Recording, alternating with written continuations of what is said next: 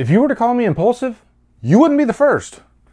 Um, I just watched Mandy for a second time, and uh, I, like I usually do, and sometimes I put my foot in my mouth, but uh, I went straight to Killer Flicks and I put, after a second watch, Mandy is the best movie of 2018 for me, beating out Infinity War, and I can't see any movie dethroning it. What a masterpiece of a film. The vision, the rage, the cage, the score, everything is just perfection.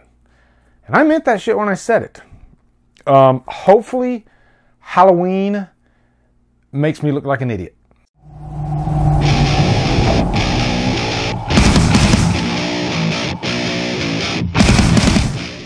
Mandy stars Nicolas Cage, Andrea Riseborough, and is directed by Panos Cosmatos. What is up, guys? I love when a movie just starts really getting a lot of buzz uh, especially on social media. And Mandy is one that I constantly kept hearing about over the last week.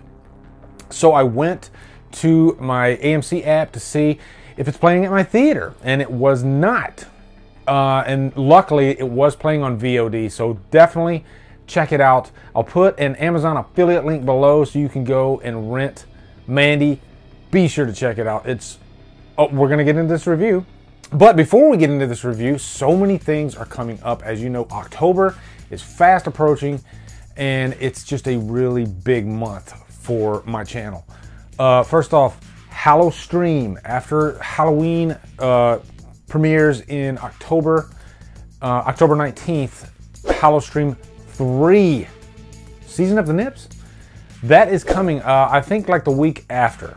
So you can get you a Hallow Stream t shirt in the meantime, so that way you'll be properly dressed for the event. It's going to be a lot of fun, and on the t-shirt you can see it's got Dave McCrae, Cody Leach, myself, and Mike and Jay from We Watched the Movie, and I like how Jay is Dr. Loomis in the middle. Uh, also, just today I started filming stuff for uh, Road to Halloween 2018 vlog. That is going to be uh, a 10-day venture where I cover something to do with every movie up until the release of the new movie on October uh, 18th is actually when I'm seeing it, that Thursday night. It's not a review. It's it's gonna be me talking about a scene or me uh, going to like Halloween Horror Nights, which I did that the other day for Halloween 4. And I, I went to a haunted restaurant today, and that's gonna be for Halloween 5. And I'll tie that in. You'll see you'll see what I mean once the uh, the vlog airs.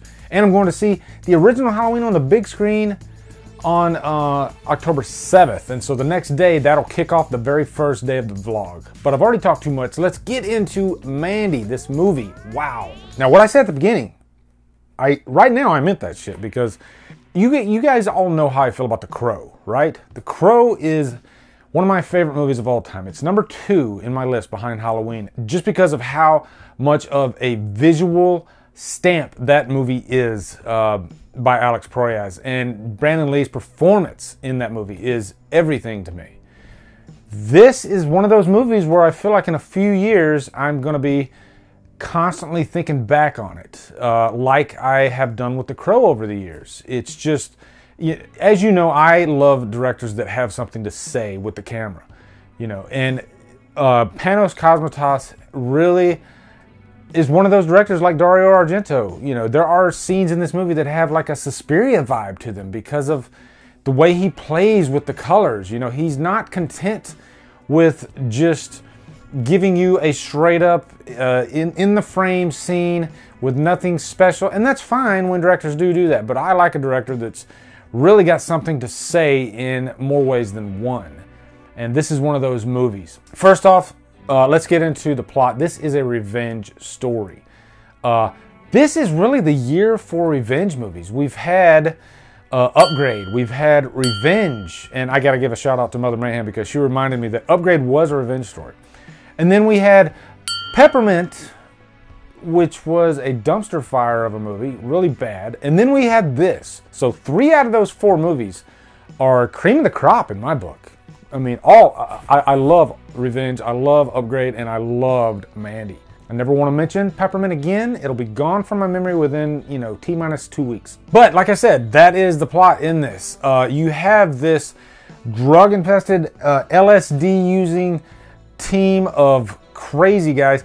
think Charles Manson. That's what the leader of this group reminds me of. You know, it, this whole group, in the best way, uh, feels like the Manson clan because we've seen stock villains in movies a, a, hundred times. It's hard to create really memorable villains. There's a couple reasons why these villains are so memorable. Uh, one is just the way the, it's directed. Uh, you know, it, it's almost like uh, dreamlike in the execution of this. The way that uh, Panos chooses to uh, have these scenes unfold you know, you're to get like Nicolas Winding Refn uh, vibes from the way this first like 45 minutes pans out. You know, up until Mandy, who is Nicolas Cage's significant other. Uh, I won't say what happens to her because I don't want to spoil anything. But because of her, Nicolas Cage, uh, known as Red in the movie, goes on a warpath of vengeance. And we're to get to Nicolas Cage in a second because boy, do we got some shit to talk about. But I have to mention the leader of this group, played by Linus Roach, And if you know, he was one of those actors I was like, where have I seen him from? And he was in Batman Begins, actually. He played uh, Bruce Wayne's father. And his performance in this, really a standout. You have Nicolas Cage, you have uh, Andrea Riseborough, and Linus Roach. This is a character actor that we've seen in hundreds of things, and it just reminds you how valuable character actors are because when they have to step up to the plate, and you know take front and center more times than not they really deliver and he does in this movie. Now of course he is backed by that masterful direction as is Nicolas Cage uh, I will say uh, of Panos but still you, you got you got to come to work that day and you got to deliver the performance and he does in space there are scenes that are downright uncomfortable in this movie uh, and they involve uh, his character okay um, let's get down to brass tacks Nicolas Cage is a bright and shining star in this movie. Immediately, I was thinking of Mickey Rourke and you know how his career is uh, just so like stained along the way because of you know issues he's had in the past. And, and his career is different than Nicolas Cage, but you can say that Nicolas Cage has made some wrong career choices along the way. But he is one of those actors that you know he's a great actor. So when he does turn in a, a great performance in a movie like Mandy, then you know it's going to deliver. Because even when he does those B movies, he's still Nicolas Cage. He still does a great job. But in this, you know, this is a character, Red, that you know, loves his wife unconditionally. You know, they have this really strong bond with each other.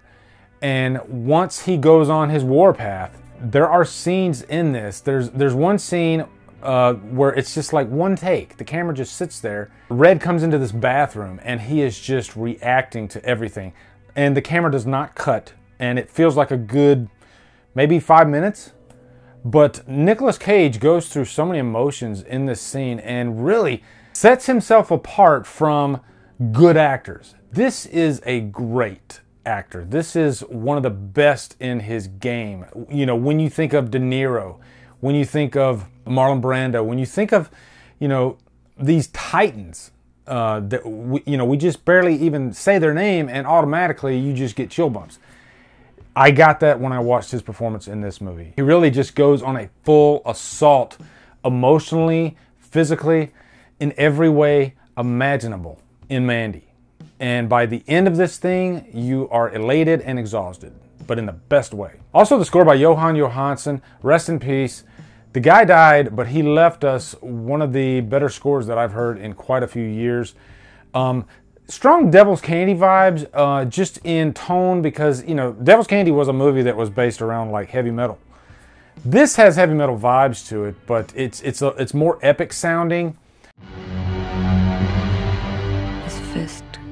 Closed around the serpent's eye. Strange and eternal. You know, this movie is a like a Nicolas Winding Refn movie in hell. And Jóhann Jóhannsson's score marries up to it, I mean just perfectly. And there there's beauty in some of the scenes.